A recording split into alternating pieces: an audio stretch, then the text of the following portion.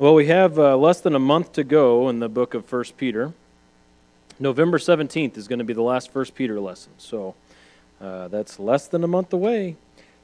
And then we're going to have the following Wednesday off, because that's the Wednesday before Thanksgiving, November 24th.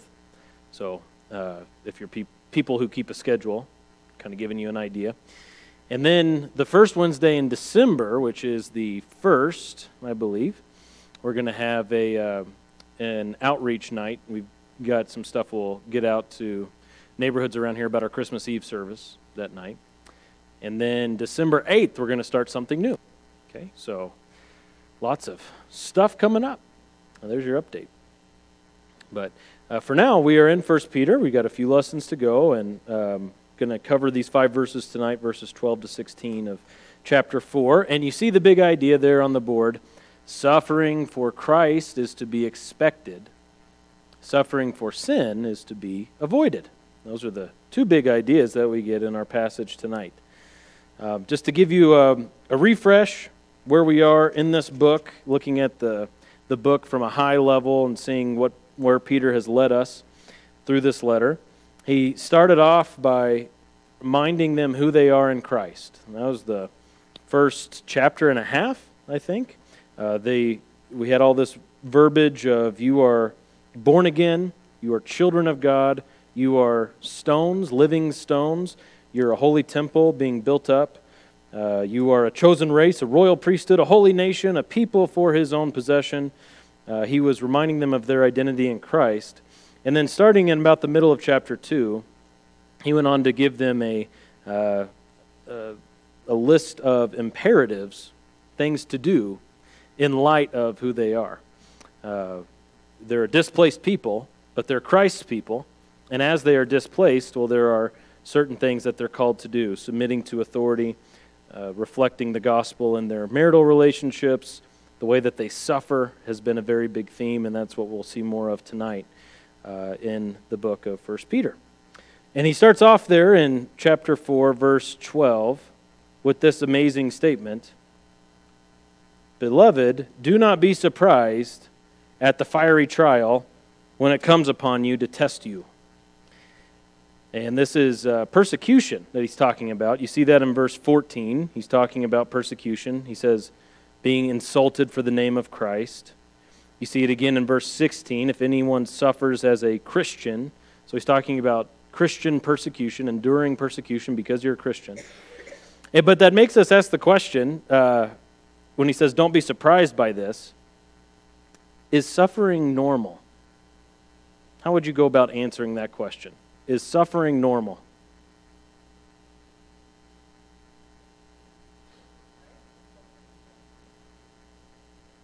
Are they two different answers?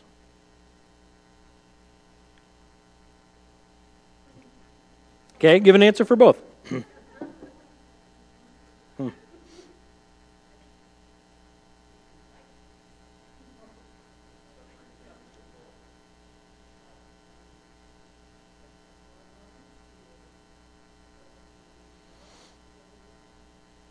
So is it normal?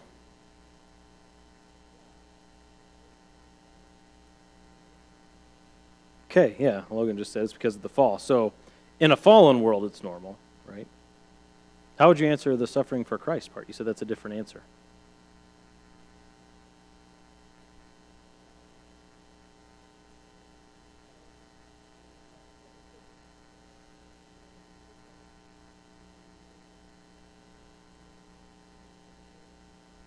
Okay.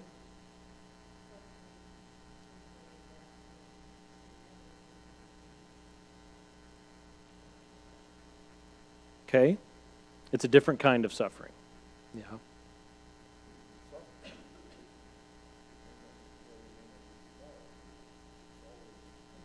Mm-hmm.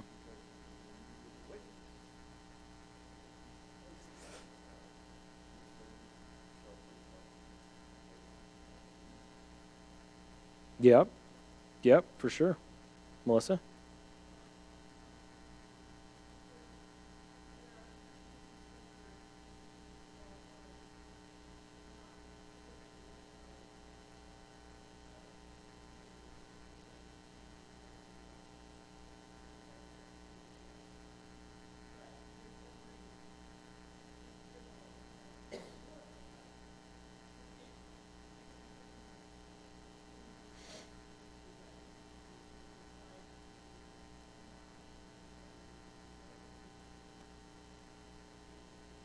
Talking about this meaning the fiery trial in verse 12? No, fi- fiery trial seems to be uh, specific to the context of per- persecution. Yeah. Yeah.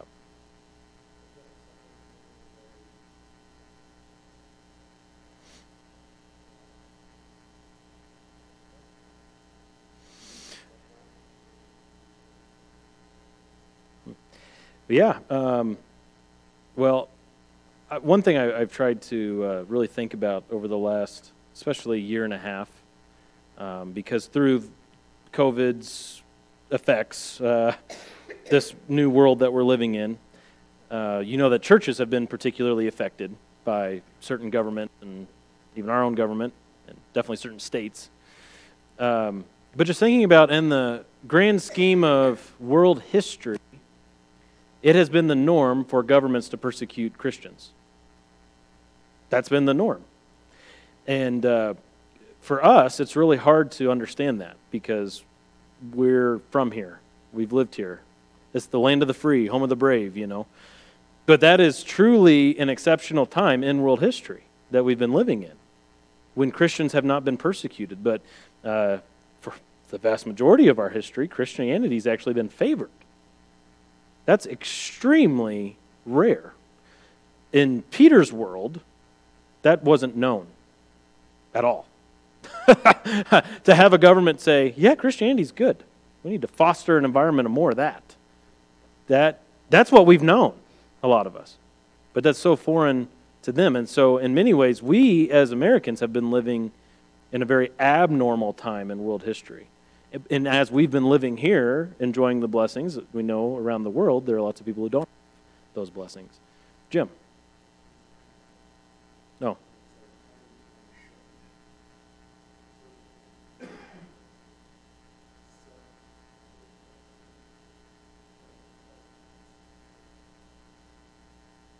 Mm-hmm.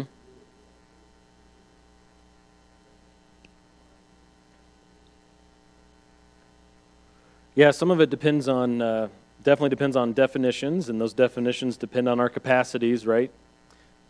My coworker gave me a dirty look because I'm thinking she thinks that I'm a Christian, and that makes her upset, and so then now I'm being persecuted because she gave me a dirty look, right? That's a really loose definition of what persecution is, for sure. Um, but yeah, it, seems to me that Peter, when he says fiery trial, he means like real deal suffering because uh, when you think of being in a fiery ordeal, what are some of the descriptors of that environment that you could say? If something, if you were in a fiery ordeal, what would that be like? Say that. Hostile, okay. Okay, yeah, so go with a literal fire. Hot. Hot. That hot is uncomfortable, right? Painful. Scary. Okay, start adding those those uh, descriptors in there. Constantly threatening a fiery ordeal. Yeah. So um, that's a that's some real deal persecution. That's not oh well, I got kicked out of a Facebook group. Persecution. No, that's that's not it. That's not it. And uh, so what Peter's doing here is reminding them: set your expectations for normal correctly. Again, verse twelve. Don't be surprised at this.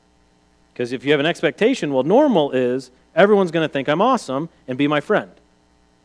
You need to adjust your expectation because he's saying fiery trials shouldn't surprise you. That should be expected as a part of Christian living. And it comes upon you to test you.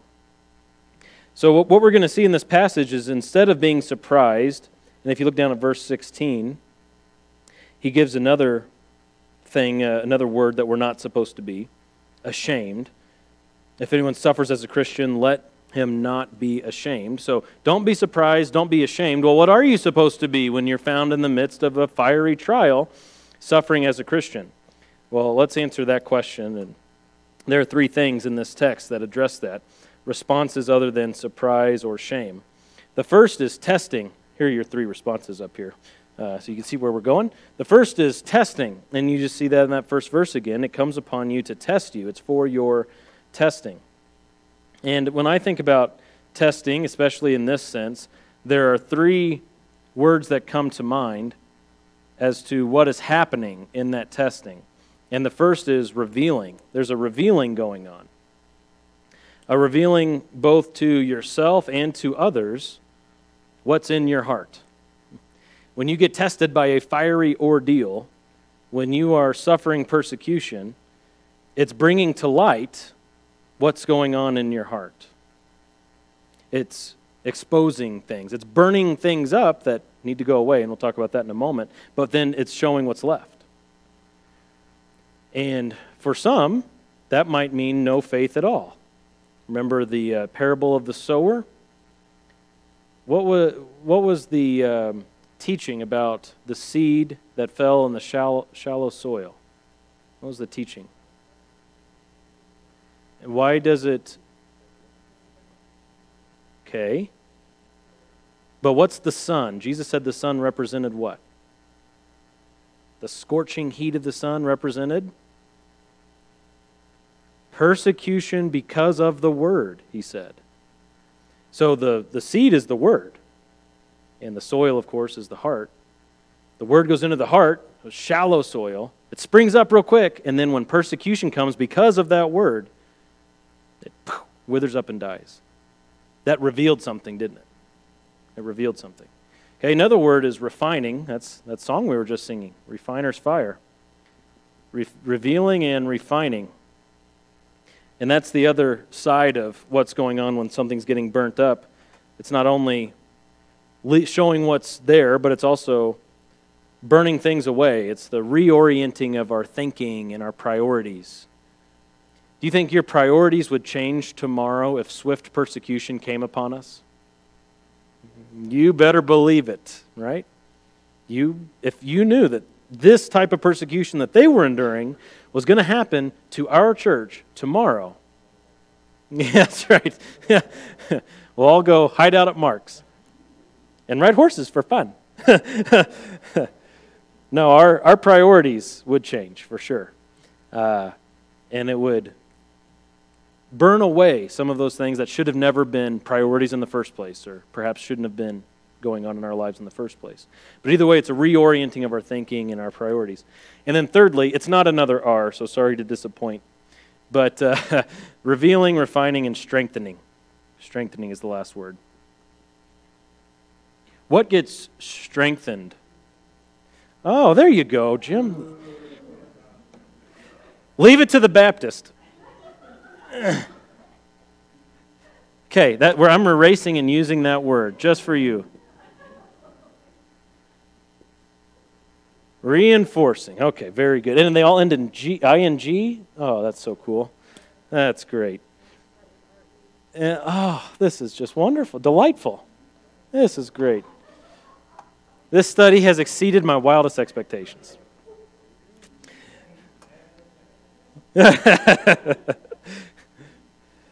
so, what, what gets strengthened or reinforced when you go through trial? Yeah, that's right. Yep, absolutely. You come out the other side with a stronger faith, right? That's what the Lord's doing to his people through trial and persecution. Who, who sends this trial? Hmm. Yeah, that's a good way to, to think of it, isn't it? When we think that this is happenstance or this is happening because man is really wanting to do it apart from God and uh, you know, there's a battle between God and evil people, and you know that they're winning during persecution, but you know we hope that God's going to get the victory back. That's not really the picture the Bible paints, is it? But God's in charge of this. You think of what He did with uh, Israel in the Old Testament. All the nations, God was using them to discipline Israel, and He uses persecution in the life of His church uh, to reveal, refine, and reinforce.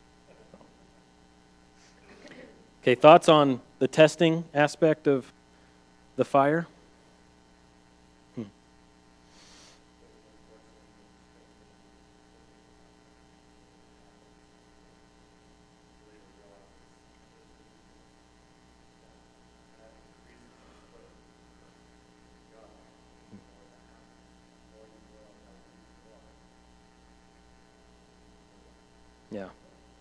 Yes.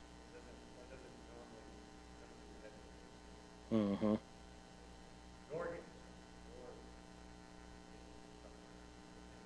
Yep.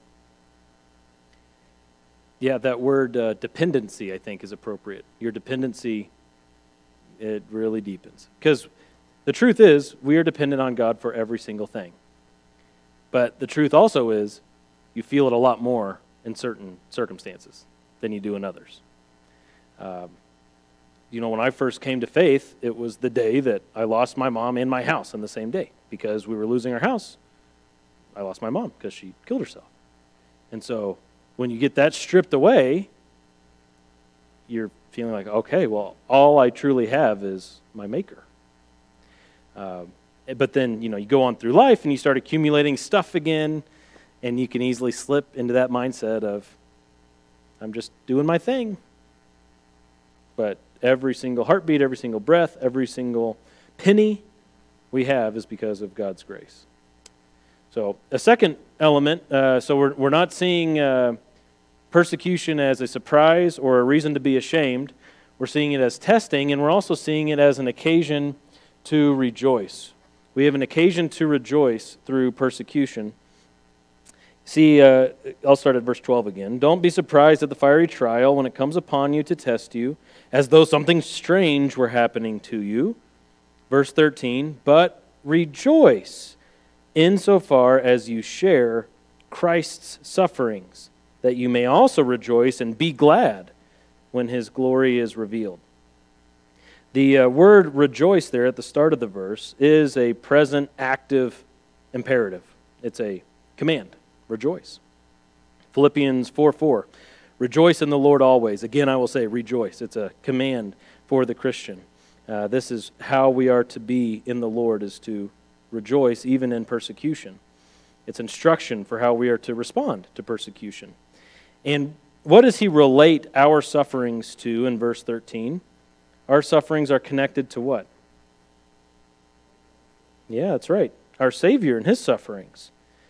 Uh, that's a very important aspect of this because these believers who have lost their homes and all sorts of things being persecuted.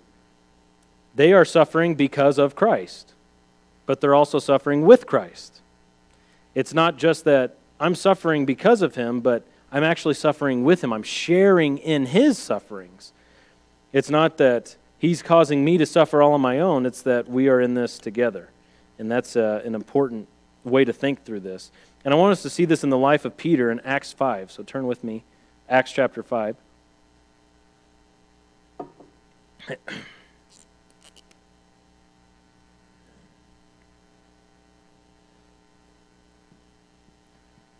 We're going to start about halfway through the chapter.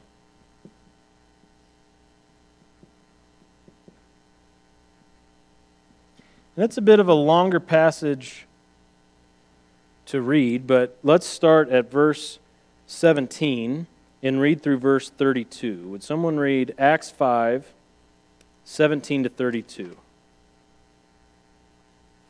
16 verses. Oh my. All right, thanks.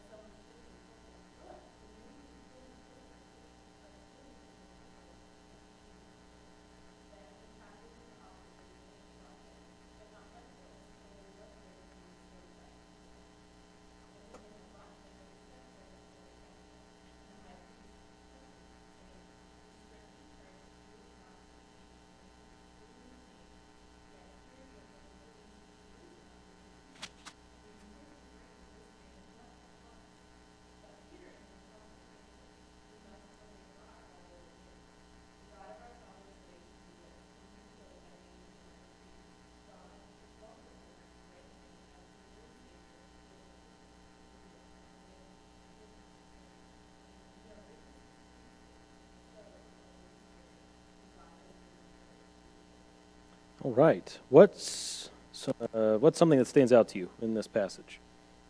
All kinds of things to see, but what are some things that you're seeing? Good. Yep, regardless of consequences, we must obey God.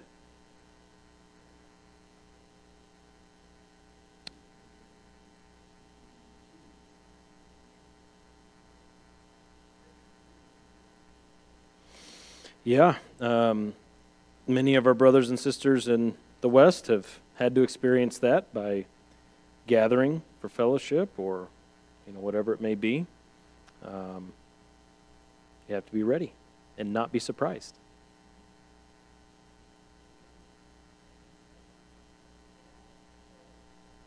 Good. Very good. Mm-hmm. yeah. Right. Bold guys, huh? Where do you think their confidence came from? That's right. Yeah. The same Holy Spirit we have. Isn't that amazing? Hmm. Let's look at the rest of the chapter. Someone want to read 33 to the end?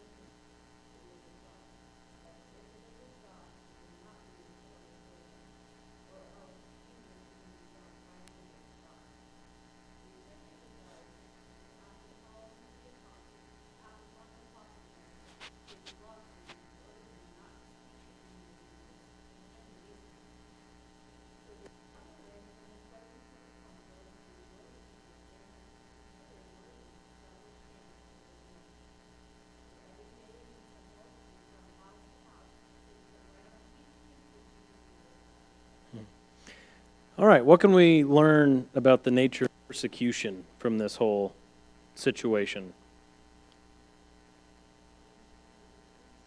Okay, so it's unable to override our faith. It's an important part. What else?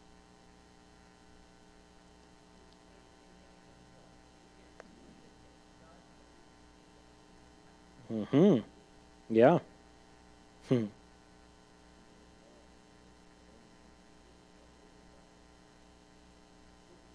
Yeah.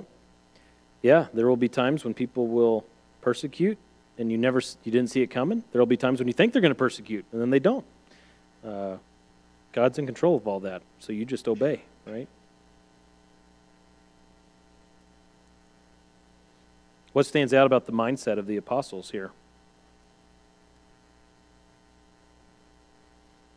Verse 41 They rejoice that they were counted worthy to suffer shame.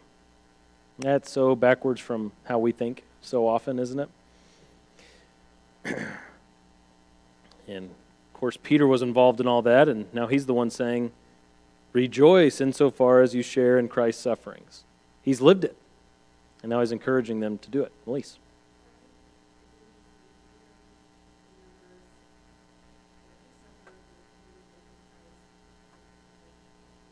Mm-hmm.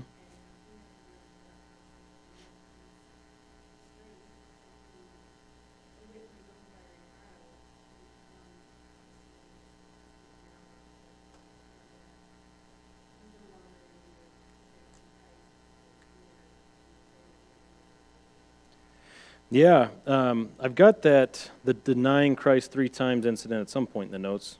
Um, but yeah, what's interesting about that when he denied Christ three times is he was suffering as an evildoer because he was lying, and he's saying, "Don't suffer that way, but suffer for the name of Christ. Suffer as a Christian. If you're suffering because you are associated with Jesus, rejoice. Rejoice. But don't suffer because you brought it on yourself. So, um, he also, going back to 1 Peter 5, he also ties this rejoicing to what event in verse 13? We already talked about sharing in Christ's sufferings. But what other event is mentioned there? Yeah, what's that? That's right.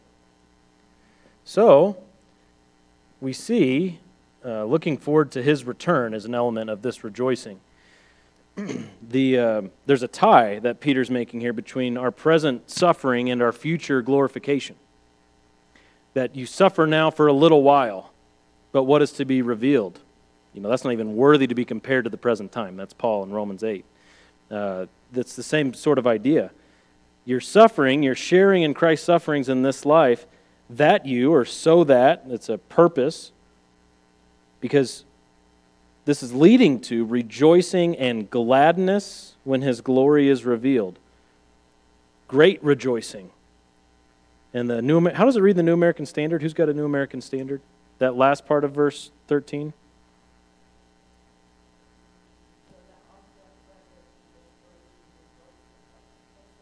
There it is. Rejoice with exultation, like that. So, um, that's an element of this too, is that we're looking forward to the return of Christ, who is the ultimate judge and is going to sort it all out for all eternity. So in this life, yeah, you're suffering for a little while. You're suffering unjustly, just as Christ did. You're sharing in that unjust suffering.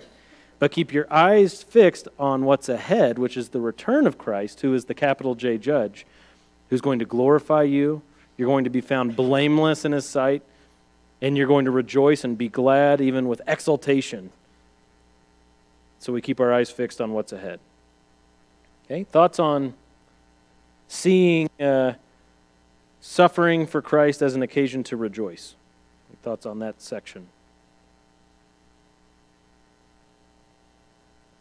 All right. Third thing is blessing. In uh, verse 14, if you are insulted for the name of Christ, Remember, don't be surprised, don't be ashamed, but instead, consider it this way you are blessed because the Spirit of glory and of God rests upon you. We are to see suffering for Christ as a blessing. Uh, a way that this could be phrased in verse 14, another way it could be phrased is if your reputation is attacked because of your association with Jesus, you are still just as blessed as if you weren't attacked that way. Their attack on your reputation, their insulting you, doesn't affect the blessing that you have in Christ. Because what does he point to specifically in verse 14? About our blessing. How are we blessed in verse 14? And who can rob that from us? Nobody. In fact, as we go through this process of testing, uh, what's being revealed through our testing is the presence of the Spirit. As things are burned away and we look at what do we have left, you strip away all these other things in our life, what do we have left? We have our faith, as Sandra pointed out earlier in Acts 5. Persecution can't overcome our faith. And we have the Spirit of God, we have the gospel. All right? That's a blessing, isn't it? That these things remain. We count that as a blessing. We are blessed, and nothing can change that. We may have our creaturely comfort stripped away, but our true joy remains. So we have uh, the Spirit, no, right, the, the Spirit of glory and of God. Now, that's an interesting way of phrasing that, isn't it? Spirit, the Spirit remains through it all. The Spirit of glory. What glory? What glory? Yeah. To what? That's right, God's glory. You have the Spirit of God's glory. That's exciting. okay, That's, that should be exciting. That should be encouraging. You have not an impersonal force, not a, I don't know, a, a good feeling in your, in your chest or whatever. You've got the Spirit of God's glory. That's amazing. That's right. We have total assurance, total confirmation of who we are as children of God. Well, that's, that's amazing. And it says that um, He rests upon us. The Spirit of glory and of God, you see that at the end of verse 14? Rests upon you. He has found a place to rest on you. That's so amazing for the Christian. We have the Spirit of glory and of God always. And so, persecution, he goes on to say, we'll skip 15 for the moment. Verse 16 persecution is not a cause for shame, but it's a cause for glorifying God. Okay? Let, let not yourself or whoever be ashamed, but let the one undergoing persecution glorify God in that name, the name of Christ. You're a Christian. We understand our identity more. We understand our favor in God's sight more through persecution. And those are all reasons to praise. And he says in verse 16 that word Christian, which is interesting. It's the only time that word shows up in uh, this letter. It doesn't show up in the Bible very much. The word Christian, I think, is only in the Bible two other times, in the book of Acts, a couple times. That's it. Um, it means a follower of Christ. So if anyone suffers as a follower of Christ, it's a reason to praise. Okay? Because we're counted worthy to suffer for that name, the name of Christ. Okay? Any thoughts or questions on the ways that we are supposed to reckon persecution?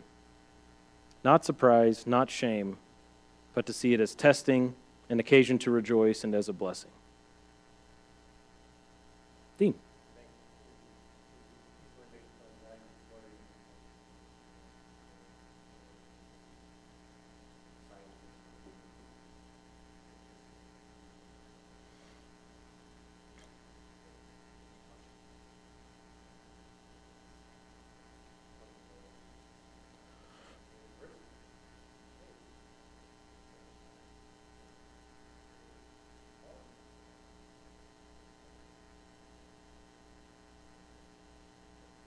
Yeah.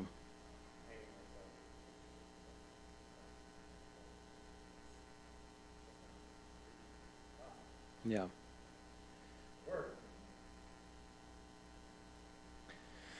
Yeah, it's difficult because there's always the possibility that persecution will come in disguise. It'll be in the name of something else, but it's actually because of this or whatever. Um, and we don't know how all that works. And so, yeah, we need to be very careful of uh, I don't know, falling into some sort of martyr complex or something where we want to be presented as a persecuted people or something. Uh, make it out to be that way. Make the make it appear that way to everybody. Um, we need to be just real careful about that.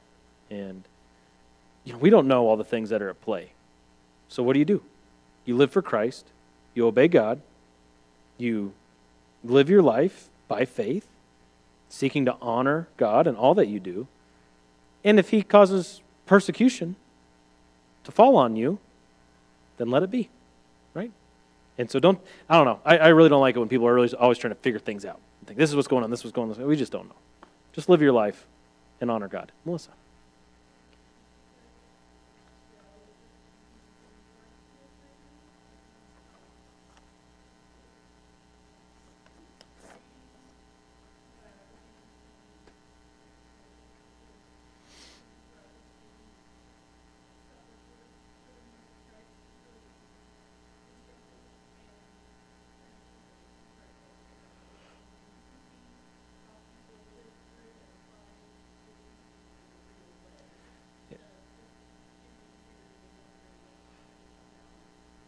It's a reality check. Yep. Mm-hmm. For sure. Yep. So if it happens, don't be surprised. And don't be ashamed. But just be bold and rejoice. Okay? All right, so verse 15, the one we passed over for the moment, is where he sets up the contrast. Suffer for Christ, yes, but, verse 15, let none of you suffer as a murderer or a thief or an evildoer or as a meddler, or as the New American Standard says, troublesome meddler. So Peter's, oh yeah, busybody. Yeah, that's good. Yeah, Peter's saying this is not persecution. If you're suffering in those ways, that is not persecution. That's not testing from God, like this. That's not what that is. Um, that's not an occasion for praising his name. Nope. You've brought this upon yourself through your own sin, through your own rebellion. That's not persecution. And he starts with murder. Isn't that interesting? Uh, I don't know. I kind of I, I find it maybe a little hard to believe that they would be tempted to murder in the situations that they're in. Maybe they weren't. It almost seems to me that Peter was starting with something so egregious that they would all be like, "Oh yeah, you shouldn't suffer for murdering," and then he gets a little more mundane, so to speak, as he goes through the list. But uh, he's starting with an obvious one. You should not suffer as a murderer. Okay, I, I hope that's obvious. Um, let none of you suffer as a murderer. And then he says thief. This is where we get our word klepto. In the Greek, it's the word kleptos. Uh, don't be a thief. Um, yeah, it's another one where you just kind of wonder in what ways would they be tempted to steal, but there are probably all kinds of ways that they were tempted to steal, especially if they were displaced and needed certain things and didn't have the means. But he says, yeah, don't do that. Don't be a thief. Bring, a, bring about some sort of suffering that way. Don't do that. And don't suffer as an evildoer. That's a word for just general harm doing. Don't do harm to others. And that's not the first time he's used that word. Look back at chapter 2. You can maybe just look across the page there. Chapter 2, verse 12. Keep your conduct among the Gentiles honorable so that when they speak against you as evildoers, they may see your good deeds and glorify God on the day of visitation. When they speak against you as evildoers. So Peter's here saying, yeah, let, let that just be an empty accusation. Don't make that a reality. Don't actually be an evildoer. They're going to say you're an evildoer, but keep that as an empty accusation. And then he adds a fourth one to the list a meddler or a troublesome meddler which is involving yourself where you don't belong, getting yourself involved in other people's affairs, watching, observing other people. Do you think that really belongs in this list alongside those other things? Murderer, thief, evildoer, and then meddler? What do you think about that?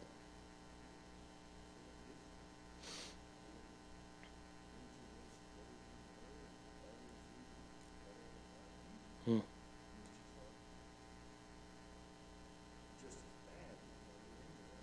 Hmm.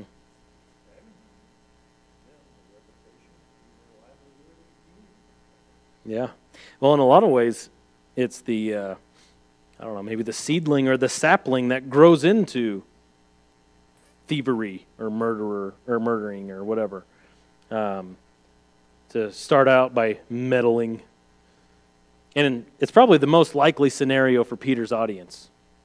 I don't know if murdering is the most likely, but meddling, that's tough for all of us. That's, I think, relevant for all people at all times, isn't it? Uh, a temptation that we probably more frequently have. And I, I couldn't help but think of 1 Thessalonians 4. keep your finger here, but turn back to Paul's instruction in 1 Thessalonians 4, where he teaches against meddling indirectly, not as directly as Peter here, but indirectly. Someone want to read 1 Thessalonians 4 11 and 12?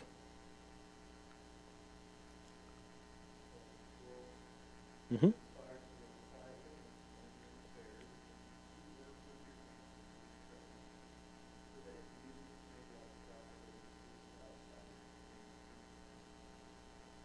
All right. Mind your own business.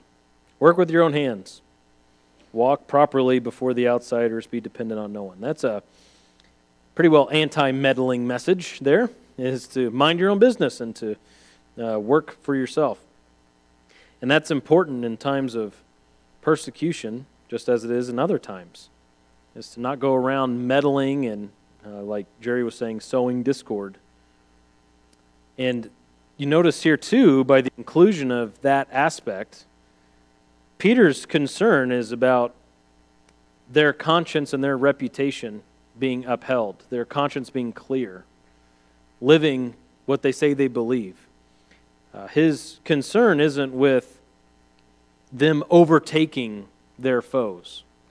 Peter's not saying, go get back at those people who are persecuting you or, or try to overtake the government. Because, you know, there were uh, Jews during that time, a certain sect of the Jews were the Zealots, and that's what they wanted to do, was overtake the government. And Peter's not saying, yeah, go do that. Peter's saying, live a life that reflects your faith. Don't murder. Don't steal. Don't be an evildoer. Don't even go meddle in other people's affairs. But just live your life with a clear conscience before the Lord and serve God faithfully. And I see that in Paul. I see that in Peter. I see that throughout the whole New Testament. We're not called to go conquer all these kingdoms. We're called to just live for Christ wherever we are. Because uh, the Thessalonians, they were undergoing persecution too. And Paul tells them, mind your own affairs, work with your hands, be dependent on no one. Okay?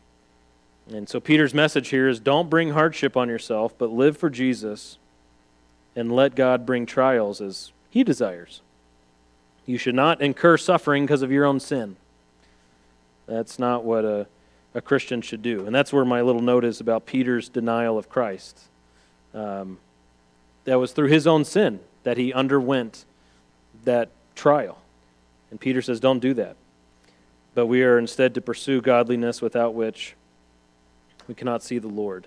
And let the trials come as God sends them. That's right. Yeah. It's just suffering, right? It's, uh, it's fair, uh, just. Whereas uh, suffering for Christ, that's unjust suffering. Okay. General thoughts or questions on that passage? Jim.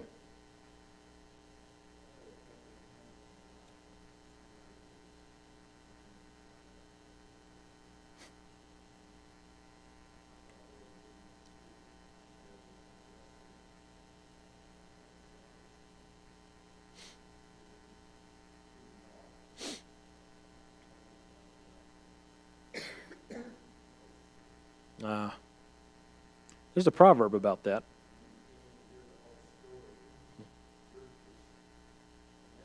Yeah, yeah.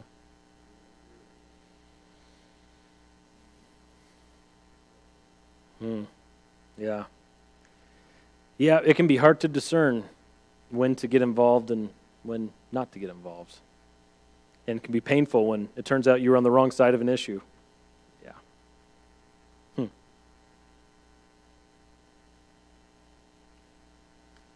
Other thoughts or questions to share or to ask?